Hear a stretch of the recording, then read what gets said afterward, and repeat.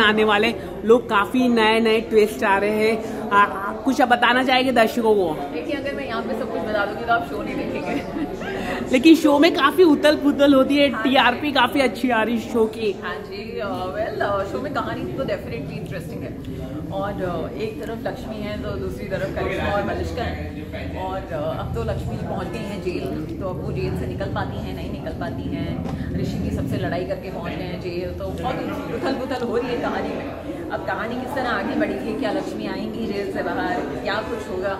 वैसे जेल से बाहर क्या वो थोड़ी देर में यहीं आने वाली है। तो ऐसा लग रहा है एंकल लिंक हो रहा है। तो उनसे भी मुलाकात होगी। जी हाँ बस यही सब हो रहा है ओके रोहित के साथ कैसा है एक्सपीरियंस करिश्मा के साथ कैसा है एक्सपीरियंस अगर दोनों एक्टरों के साथ काम करने का। नहीं नहीं बहुत ही बेहतरीन एक्सपीरियंस है। इनफैक्ट पूरी ही टीम बहुत अच्छी है चाहे वो उदय जी हो चाहे वो स्मिता जी हो चाहे रोहित हो ऐश्वर्या हो।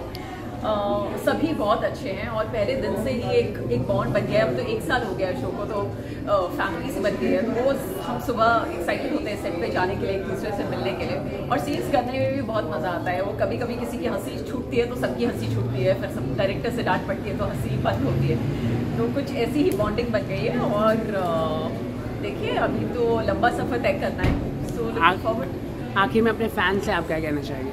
यही कहना चाहूँगी कि thank you thank you so much आप अपना प्यार हम पर बनाए रखिए। Thank you so much thank you